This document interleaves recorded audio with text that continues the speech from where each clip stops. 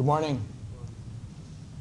Okay, so as I mentioned last time, you've got uh, two back-to-back assignments that are going to be due next week. And the situation with this, the, there used to just be one assignment for Chapter 5, but I split it up into pieces. Don't be thrown off by the fact that it seems like there's a lot of numbers here. Uh, the main idea in Chapter 5 is so simple that uh, rather than depth of difficulty, there's more uh, breadth of application in these problems. And so I think that you'll find each one of them is relatively straightforward. So I'd encourage you to get an early start on these uh, just while it's fresh in your mind and in case any questions come up. We're going to continue talking about the continuity relationship and uh, one specialized application of that today. So uh, any announcement questions before we get into the new material? All right. Well, let's review what we looked at last time. We had a tank. And when we looked at this tank, we were discussing the system. And the system, as you recall, was the dark blue fluid. And uh, what made the system different from the fluid particles that wasn't the system? Well, it's maybe uh, what's uh, before and after is also water. It's just we're interested in a certain amount of water, and that's what we call the system, and it's continuously connected. And so what we did was we drew control surfaces, which is the outside boundary that encloses a control volume. And the reason why we did that was we wanted to play an accounting game. We wanted to keep track of what comes in and what goes out through the control surfaces. And what we said was that the difference between the inflow and the outflow results in an accumulation within the control volume. So this expression is an extension of that. And let me talk you through how to interpret this. It's saying that the change of mass of the system over time is related to uh, the change over time inside of the control volume, where here this is density, and then dV is talking about the change in volume. The V with the cross through it is volume, whereas the V here is talking about velocity. And so the second term is saying flow through the control surfaces. CS is control surface. And so density times V times dA, where dA is some differential area. Last time in class we had the expression that Q equals VA. And so essentially this is the same thing in the second term here. It's saying uh, velocity times area, which gives us Q. And then if we multiply Q by the density of the fluid, that's the mass flow rate. That's what we were using as m dot during the examples last time. Okay, so what this is saying is the mass of the system is the difference between the mass flow in and out through the control surfaces and then whether or not there's any sort of a reaction inside of the control volume. Uh, sometimes mass, if it depends on what, what uh, constituent we're keep, keeping track of, there may be a reaction inside of the control volume. And so, uh, for instance, if we have wastewater treatment, there's a wastewater treatment plant here uh, close to campus, as a matter of fact. And what it does is it takes all of the wastewater from the University City area and bacteria break down some of the pollutants. And so inside of a big tank where wastewater is being treated, maybe the mass that we would be focusing on and we'd be doing our calculations of is the pollution in the water. And so inside of the tank, which is called a reactor, there would be a breakdown of those pollutants. And so the mass would be decreasing because of a reaction, but then also we'd need to keep track of the flow in of the mass into that tank and the flow out of the mass of the pollutants out of the tank. Did you have a question? CS is the outside area that encompasses the control volume. And so uh, this tank, you'll notice, has the dashed line around it. So the dashed line is the control surface, and uh, it's the outer layer that's inside of that is the control volume. And so uh, the reason why we distinguish between the two is that it's the control surface actually that's sort of our boundary for determining whether there's flow in and out in terms of transport. And then on the inside of that is where we keep track of storage. And you'll notice that I've, I've broken this equation up into two pieces, the storage component and the transport component. And this is an important conceptual idea. What it says is that the difference between the mass that's accumulating inside of the storage area, it's a function of whatever reaction is happening and then the flow in and the flow out of whatever mass we're keeping track of. So, you know, maybe it's a chemical reaction and that tank that we're putting our boundary around is some sort of a reactor where uh, a chemical is being produced. And so it could be a production reaction. It could be a consumption reaction if it's an environmental pollutant being broken down. Um, what we were talking about, though, we were just mainly discussing water flow. And so there doesn't necessarily have to be a reaction inside of the tank. It might be the case that the mass of the system isn't changing. And so dm dt can be zero if there's no reaction inside of the control volume. And if there's no reaction inside of the control volume, then the, uh, the change in mass over time depends only on the flow in versus the flow out. So if there is a reaction, then we have to, uh, we have to keep track of the rate of the reaction versus the rate in and the rate out. So here is what these variables mean. Uh, m, we're talking about the mass or some property that's related to the mass. Uh, T, time, density, V with the cross through it, volume, velocity, area. Um, so this Reynolds transport theorem, the three components are on the left side here, the change of mass inside of the system that can be reaction related, the storage and how it changes over time, and then the flow in and the flow out over the uh, control surfaces. And so there is a time component here with the velocity. So since velocity has units of, of length per time, then each one of these terms is going to have some sort of a time component to it. Uh, this is the change in mass over time because of the dt here. And this is the change in mass over time because there is a uh, time in the denominator of the velocity term. Okay, so this is where we were on the previous slide. This is Reynolds transport theorem. Let's say that we don't have a reaction happening. It's a conservative material or just for whatever reason the mass isn't being created or destroyed inside of the control volume. Well, in that case, we can simplify Reynolds transport theorem. So uh, all I've done here is I've just put a zero where we previously had dm dt. And so now we have the same two terms. There is the, uh, there's the transport and the storage term. So here's the storage term. And what this is breaking down to, it's the rate of accumulation of mass in the control volume. And if you have no reaction, then it's the accumulation is just because of the flow in versus the flow out. And so I wrote it most simply previous class as accumulation is in minus out. And uh, this is the fancy way of saying accumulation is in minus out. In minus out is the transport term, net mass efflux. That means the net flow out of our control surface boundary. And then this is our storage term, where we're talking about a change of volume multiplied by the density means a change of mass inside of the control volume.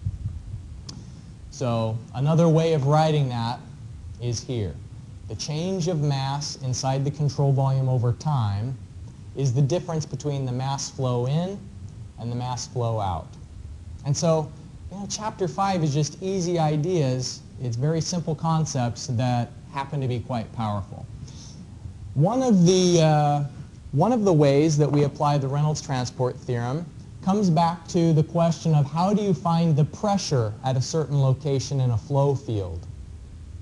Um, so let's take, for instance, flow at a contracting section. The pipe diameter is getting narrower, and so what we know is the velocity increases, and what did Bernoulli's equation tell us about uh, how the pressure changes when the velocity goes up, the pressure goes down, right? Because the sum of the three components, the elevation head, the velocity head, and the pressure head, the sum of those three components has to be equal between two points if we assume that there's no energy loss between them. So here, what we did uh, in a Lagrangian approach, you can integrate Euler's equation as the particle moves from A to B. Now Euler's equation was the one that's talking about local acceleration. But you know, it takes time for the particle to go from A to B. So if we looked at the change in position over time, then we'd know a change in velocity. So we can use Euler's equation to tell us the change in pressure as the particle goes from A to B. It would probably be more natural, though, for us just to apply Bernoulli's equation. And remember, the assumptions for Bernoulli's equation includes the stipulation that the flow has to be steady, meaning that conditions are constant over time. So that's how we could find the pressure at B. But the problem with the Lagrangian approach is just um, keeping track of all the path lines because there are so many particles um, that, especially if the flow is unsteady, if the flow is changing over time, then it's difficult just to track all of the particles. Uh, and so our simplifying procedure, as discussed earlier, is this Eulerian approach of make a mesh. In other words, you divide the flow area up into small elements and then you find out what is the average flow in one of those elements, and then you assign all of the particles inside of the control volume a single velocity. And you just say that you're going to let the average velocity inside that window represent the full conditions in there. Uh, so this is a solution that tells you the flow properties at any point because every every point has the, every point within the element has the same characteristics. And so you apply a free body approach to many elements, and then you can keep track of the pressure and shear stress. Um, so the control volume is an imaginary construct. It's just these boundaries that we arbitrarily set, but you can apply the idea of control volumes to more than just finding the mass flow rate. You can apply the control volume approach to finding out how the pressure changes. And this is you know, in the software that's used these days for uh, modeling flow environments like through um, medical devices or uh, flow through um, in chemical plants and in drinking water plants. They use the sophisticated software that basically divides the flow field up into small areas like this. So that's one of the approaches. Well, let's get practical. Uh, we have an example here where there's a tank of water and uh, you can see the dashed line here represents our control surface. On the inside of the control surface is our control volume and there happens to be a place where liquid can accumulate inside the control volume. So we do have a potential for storage because of that tank. You can see that there is one stream of, uh, of water flowing in and the way that they've described the rate of the inflow is with a cross-sectional area, and that's just talking about the cross-sectional area of the jet as it goes towards the tank, and then the velocity at that same location that the area is measured, 7 meters per second. So that tells us the flow in. The flow out is just given directly in volumetric terms. And then one last piece of information we have is the diameter of the tank. This is a circular tank that we're looking at. It has a diameter of 0.5 meters. Okay, so what we're interested to know is how quickly is the liquid level rising or falling? In other words, the velocity of the water surface. And if you've ever filled a swimming pool with a hose before, you know that the water level rises so slowly. You know, it takes hours and hours to fill a swimming pool. So uh, this is the same kind of idea. We've got a flow coming in, but in this case there's also a flow going out. And we want to know what's the velocity going up or going down. And the key to this is applying the mass balance approach. You look at the flow in, you look at the flow out, and then that's going to tell us the rate of accumulation. So I'm going to stop talking, pause the recording, and give you some time to consider this example. The key here is that we know the diameter of the tank. Once you know the rate of mass accumulation, then using the diameter of the tank will tell you how quickly the liquid level is going up. Just to stimulate your thinking, let me ask one conceptual question. What if it's a small tank with a small diameter? Would the liquid level go up faster than if it's a big tank? Of course, you know, the swimming pool, the reason why the liquid level rises slowly is because has such a big surface area. But a bathtub fills a lot faster than a swimming pool because the surface area of the bathtub is lower. All right.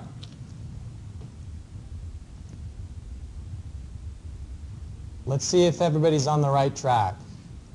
Okay, so the first thing that you do is uh, find the flow in. And we find the flow in because it's given to us, uh, the velocity in is 7 meters per second, and we know the cross-sectional area of this jet of water as it comes in. So here's the flow rate in in volumetric terms. Here's the flow in in mass flow terms, kilograms per second. We can do the same thing with the flow out. In fact, it's even easier. We're given the Q, so to find the mass flow rate, we just have to multiply it by the liquid, uh, the liquid density, which is 1,000 kilograms per cubic meter. So if you've got 17 kilograms per second coming in and only 3 going out, then obviously water is accumulating inside of the tank. And so that tells us that the liquid level is going up. So here I found the difference between the two, and I conclude that the fluid level in the tank is rising because dmCV dt is positive. So there's more water coming in than out, so that water has to go somewhere. The liquid level accumulates. So the next step, you can see over on the whiteboard there, I drew the tank to give you the hint of how you find the velocity of the water level rising. If you know the, the net volumetric flow rate, meaning the, uh, the flow rate of accumulation, and divide it by the area of the tank, then that'll tell you the velocity that the water level is rising. So a big area if you have a really large tank area, then that would mean the velocity is low because the tank area is in the denominator. If you have a small tank area, like from a small diameter tank, then that's going to give you a larger velocity. So that just sort of matches what conceptually we know. And uh, let's take a look at the calculation. So the rate of rise, we have the, uh, the Q of accumulation is 0.0145 cubic meters per second. And then I find the velocity that the water level is rising by having that net flow rate, the accumulation flow rate, divided by the tank area. So it's going up uh, 0.0738 meters per second. So about 7.4 centimeters per second is how quickly the liquid level is rising. So quizzes and exams, um, you know, there's like an infinite number of problems that can be put together when you just think about you have one stream coming in and two streams coming out, or you just put together combinations of, uh, of different number of pipes in and out, and you try and find out how the liquid level is responding to that. And this is very typical of the sorts of problems that you can expect to see for uh, Chapter 5. Any questions related to the example? Sure. Yep, last step? Mm-hmm. All right, so what we know is that there's more water coming into the tank than going out. And so logically, that means the liquid level has to be rising. But we want to know how fast is it going up. So the velocity that it's going up. And um, we know the general continuity equation is Q equals VA. And so it's the same application here. It's just instead of talking about a pipe in and a pipe out, now we're treating this tank as the Q equals VA. And so the Q is the difference between the in and the out, and the A is the cross-sectional area of the tank. And so if we just rearrange this general continuity equation, V equals Q divided by A will tell us how quickly the liquid level is rising. And so what that means is if you have like a swimming pool, a very large cross-sectional area at the surface, a big denominator is going to make the velocity small. Um, or a small denominator, if you have a really narrow tank, then the liquid level would have been rising faster if, if we had maybe a 0.1 meter diameter instead of the 0.5 that was described in the problem statement.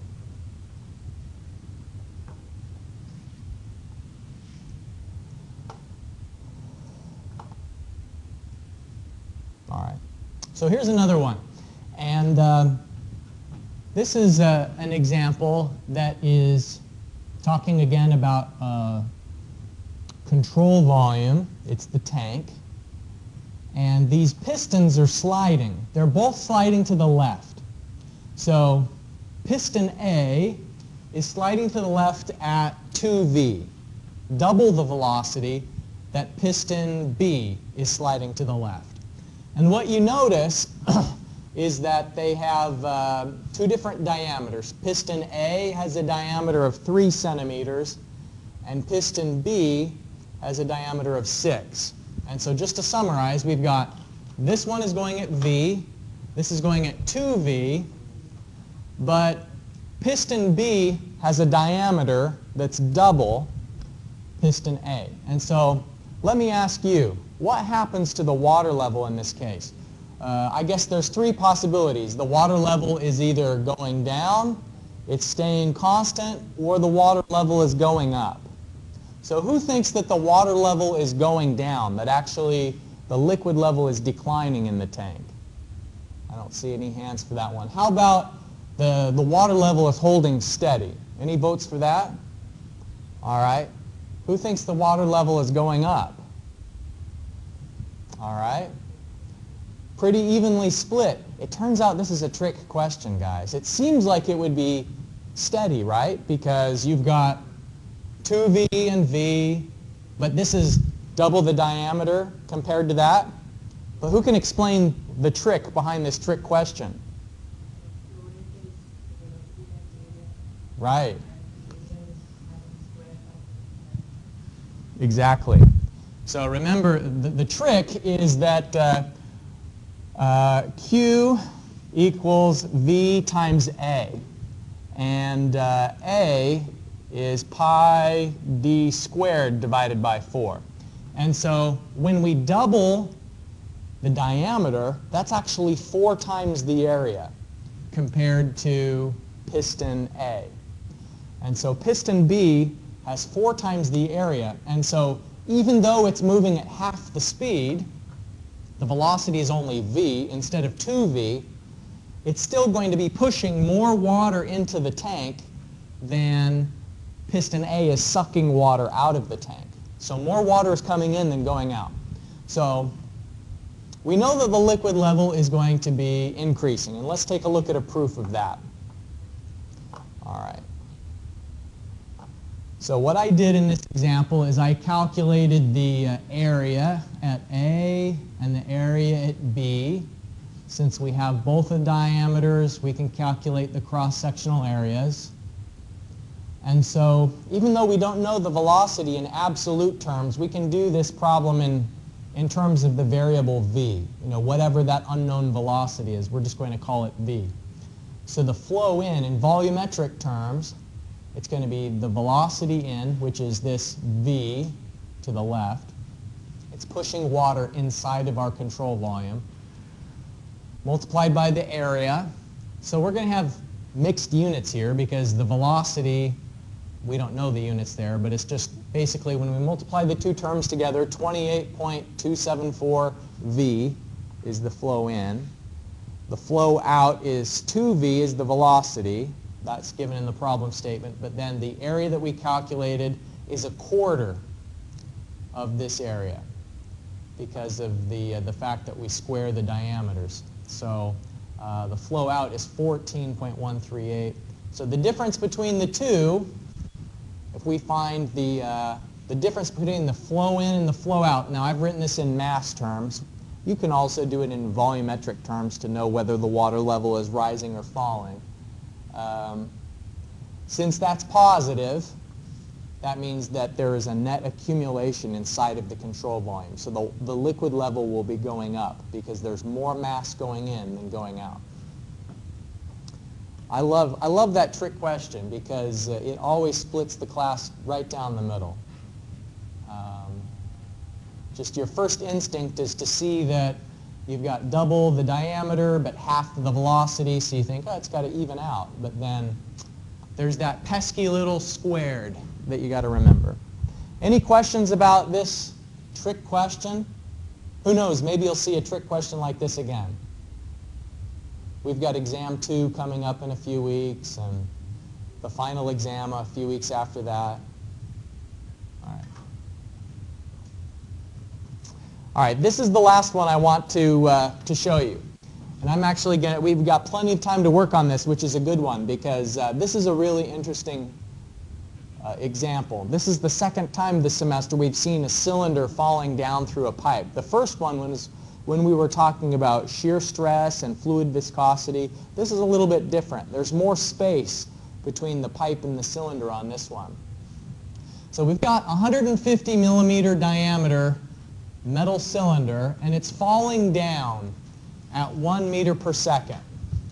As it falls down, you have to think about what's happening to the liquid that's in the path of the cylinder. The liquid that's in the path of the cylinder is getting pushed around the edge.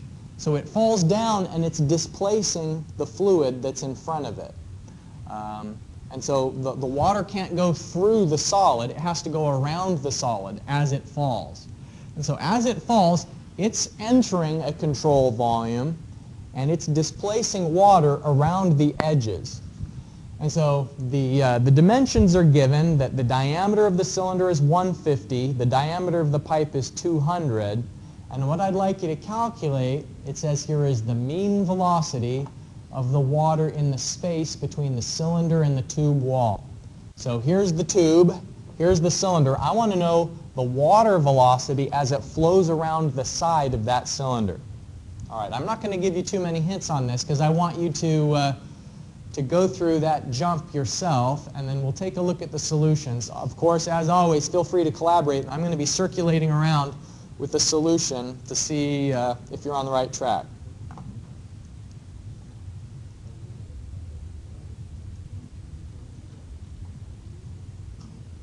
My solution, it's as much text as calculations. I, I wrote out a bunch of words just to uh, kind of remind myself of the concepts here. So we've got the same cylinder that's falling down through a pipe. And then you can see that I, I ended up drawing the control surfaces just so that in my mind I could conceive of where is the water going. So here is my control volume. And what I'm saying is the cylinder enters the control volume and it displaces the water. As that solid cylinder comes into the control volume, then there has to be a flow out around the edges because of it. You know, water can't be compressed, so it has to go somewhere. It goes around the edge of the cylinder. So here I've drawn my control surfaces, and on the inside is the control volume. So if the cylinder falls down, it pushes the water around it. So calculation-wise, I find the, uh, the flow in, and this is kind of a, an interesting thing because it's a solid substance. It's a cylinder. And so when I say flow in, that has maybe a strange idea to it because usually when we're calculating flow rates, we're thinking it in terms of a liquid.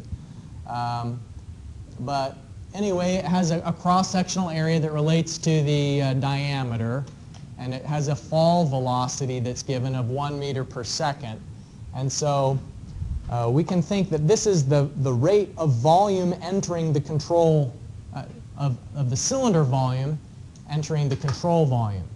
So the cylinder is going into this imaginary control volume at a rate of 0.0176 cubic meters per second. And so that's the rate that it'll be pushing the liquid out. There's no place inside of this control volume that water or any other volume can accumulate, and so in is equal to out.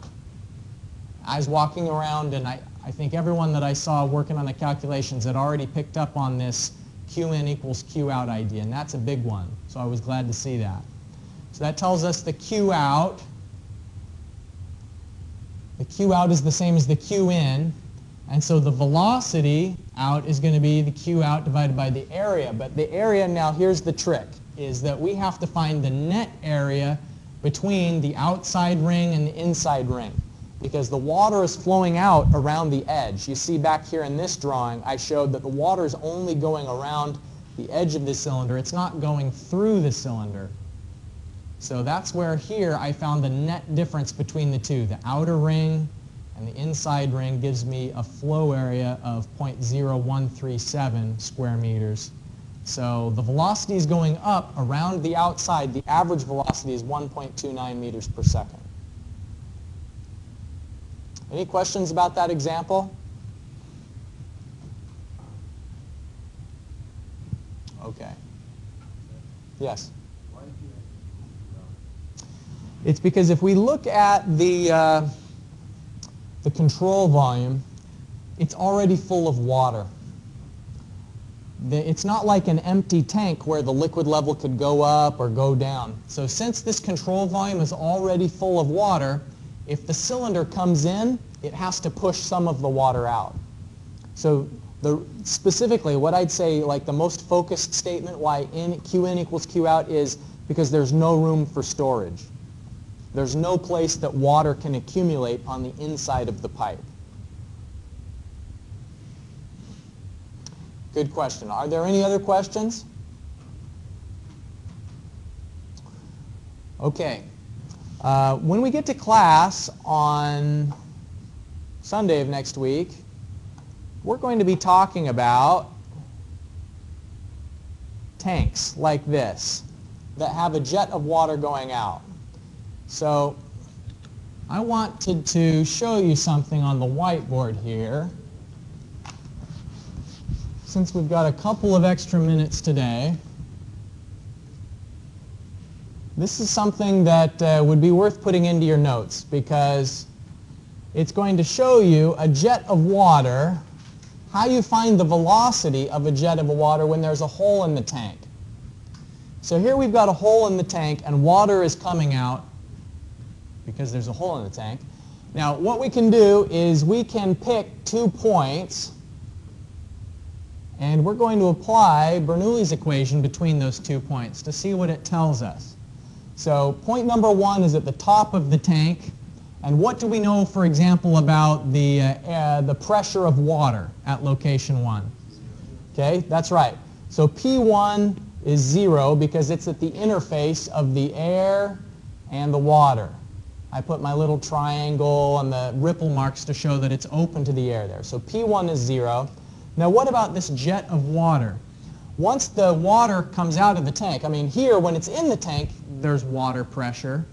But then when it comes out of the tank, what do we know about the pressure at 2? Also 0. So P2 is equal to 0 because there's air all around that jet. And so on the inside of the jet, it's also 0 pressure. Uh, what we're going to do is we're going to say, you know, there is a Z1 and there is a Z2, but we're going to call Z1 minus Z2, that is H. It, here is H. It's the depth of the water from 1 to 2. And so let's write Bernoulli's equation between those two points. P1 divided by gamma plus Z1 plus V1 squared divided by 2G is equal to P2 divided by gamma plus Z2 plus V2 squared divided by 2G. Okay, we already said that the pressure at 1 and the pressure at 2 are 0. Z1 minus Z2 is H, and so we're going to put H here on the left side.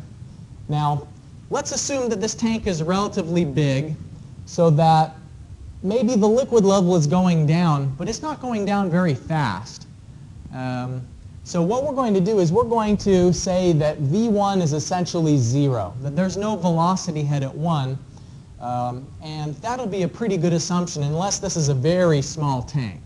But for a regular sized tank, the liquid level as this drains is going to be going down slow enough that we can neglect the velocity head at 1.